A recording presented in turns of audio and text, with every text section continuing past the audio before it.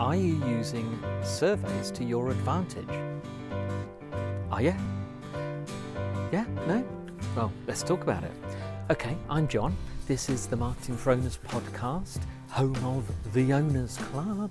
If you haven't joined, there's a free and there's a paid. The free one is at marketingforowners.com slash join. I'll leave you with that. it, oh, if you want to know, um, just quite simply, uh, if you're a member of that and you follow the advice and the teachings and so on, it, your business will just be better. Can't be a bad thing, can it? Anyway, surveys. So, I'm not, I'm not going to talk too much about the ins and outs of actually performing a survey, but firstly, let me remind you uh, that if you're using online surveys, there are plenty of free tools such as Google Forms. Google Forms comes with uh, any Google Docs thing. If you have a Gmail account or an AdWords account or anything like that, you have a Google account. And if you dive in, in the background, you have Google Forms. It shows you how to use it, set up surveys, etc. It, it collates them, it sends them out, all that kind of stuff. Or just go to surveymonkey.com and use their free level. Of course, there are others, but those will do the job. However, uh, my favourite type of survey is when you actually speak to someone directly, personally, one to one, over a phone, person to person, or even by email. And um, let's just cover email. What I mean by that is, is a simple question. So not, not obviously a whole survey. When I'm talking about uh, Google Forms and SurveyMonkey, that's a whole form, uh, you know, multiple questions and so on. But when you email, you might just say, um, can you tell me which of these two matches you? Uh, you might be, say, for instance, in, in mind for the Owners Club, um, are you a beginner in business or are you, uh, are you, have you been in business a while but you're a bit stuck and, and are looking to, uh, uh you know, hit the growth or are you a solid business that just wants to grow faster? There's three levels. Just answer me that. And then from there, I can tailor what I deliver. That is a survey. You might think, well, that's just asking a question. What's a survey? I'm surveying. And I can ask others and then I can find out uh, who my most popular, uh, you know, who the popular audience is, or I can tailor information for the different streams, the different tracks. And, and that's what we actually do in the Owners Club. This is not about that though. Um, when you are on the phone, I am not meaning those horrible telephone surveys that after you've used if you phoned up the water board or British Gas or a phone company, then someone about a week later suddenly phones you out of the blue from someone completely unrelated and, and says, Would you like to take a partner survey? And you say, No, not those. I mean, when you are speaking to a customer, again, a few questions. And it is amazing the information you can glean from your customers, from your potential customers, or from people who are talking to you. And that's what it's all about. It, it's communication and getting information back. Because in business, we make a lot of assumptions. Uh, we assume people will like this. We don't ask them. We just put it in front of them and try and get them to buy it or that kind of thing. And that quite often doesn't work. So if you are thinking of uh, creating a new service or a new product, when you've got someone on the phone and they've been interested, you've been chatting, say at the end, can I just ask you two quick questions? If we were to, is that something you'd be interested in? Or if we were, or you might say, or if we did it like this, is that, is that the way you'd like it? Or would you think it was something you'd prefer it done some other way?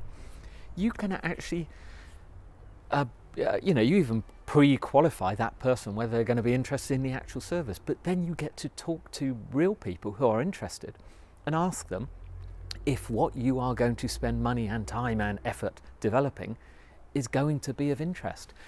Once you've spoken to, I don't know, 20 people about that with that question, because at the end of a call, what are they going to say? They're not going to ignore you, they're going to answer. They're not going to just hang up because you've been chatting to them. These are not people you've just phoned up to ask. This is at the end of a conversation or during a conversation. In fact, you might find they have an entire opinion. You might have a whole conversation with them about this. But how about that? Imagine you've got, say, 20 uh, sets of feedback for that product that may hone that product or perfect it before you actually put the effort into developing it. Or if everyone says, no, no, no, too expensive, get that from, no, never really needed it, then you might think to yourself, wow, I'm on the wrong track. I might not develop it over after all. And, and by the way, if that does happen, I challenge you to actually not do it because I know you're determined, but your customers are not going to buy it. Okay. So the other one is face to face. Again, and, and with the face to face, sitting down, cup of coffee at a meeting, this where it's not the purpose of the actual meeting. You, of course, you can have top clients and you can go and meet them and take them out for dinner, take them out for a coffee, go to their place, invite them in, have a coffee, have a chat, ask how the kids are, have a natter, and just in general. But then then ask them some pertinent questions. Now, do not push your luck. Uh, you're probably going to restrict this to three, four, or five. So obviously, don't ask them demographic questions. Ask, what car do you drive? And unless you're selling cars, of course. But um, you don't want to know uh, if you know what their age range is. You're obviously not going to ask them what their earnings are. Not those type of questions, but questions that can help you in your business.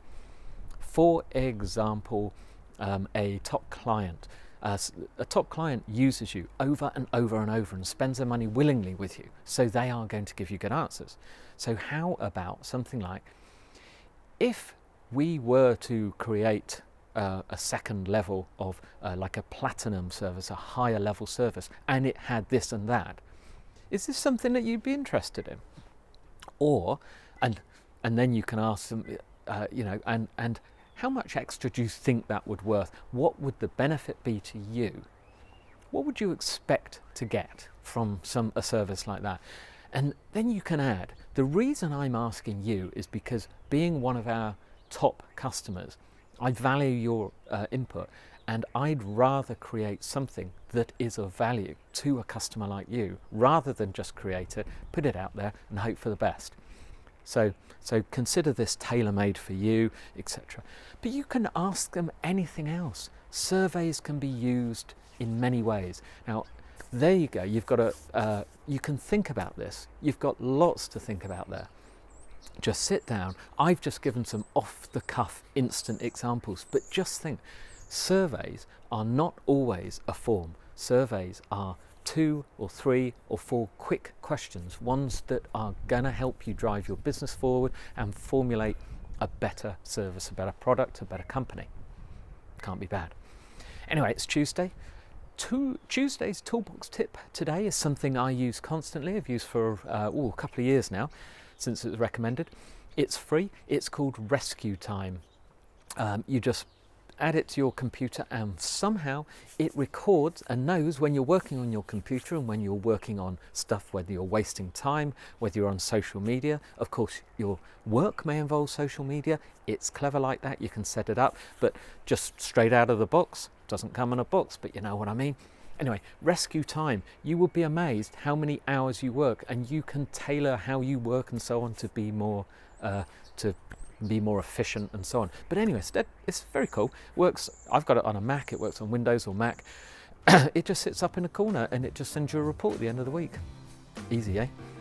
Oh, and it's free. Tomorrow, we have the wonderful Amanda Watts. Amanda C. Watts, if you want to look her up. Um, she's a bundle of laughs and great fun, great information about how she set up her business and how she helps people improve their business and life. You're going to love it? Let me know what you think afterwards. And by the way, if you want to give us a rating, I always forget to ask this, just go on iTunes, give us an honest rating, but write down what you think. Um, just love it if it's five stars, but just give us what you think because we read them all and we appreciate them and it shows that we're doing the right, the right job. Okay, see you soon.